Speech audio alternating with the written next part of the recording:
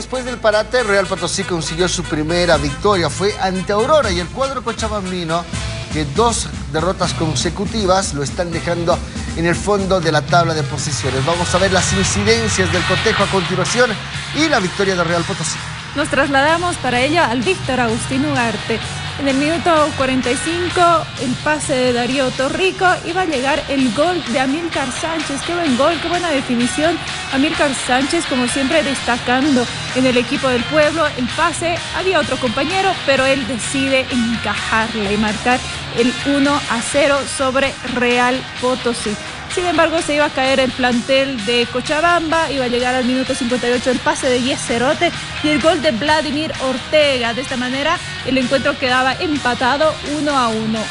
No pudo cabecear la defensa y termina encajándola Vladimir Ortega. Ya para cerrar el cotejo, al minuto 67 el gol de Yeserote nuevamente, que se iba a convertir en una de las figuras, Gerardo Yeserote, que también era el capitán, de este encuentro del cuadro potosino, iba a marcar el 2 a 1 a favor de Real Potosí sobre Oro. Bueno, revisemos la tabla de posiciones, como se encuentra. El primero Diestrones con 25 unidades, más 12 gol diferencia.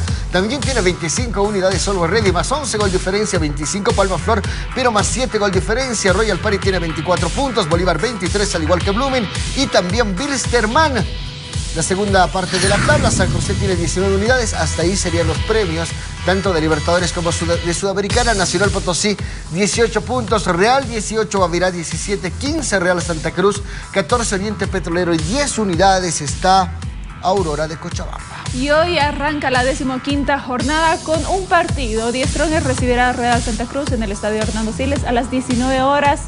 Mañana Royal Paris se enfrentará a Palma Flor, ambos punteros. Nacional Potosí recibirá a Oriente Petrolero y Bluebeam se enfrentará a Nacional Potosí. Y el día viernes, Aurora recibirá a Always Ready en Cochabamba. Bolívar se enfrentará a San José, Clásico Nacional y Guavirá recibirá en la Caldera del Diablo a Bilsterman.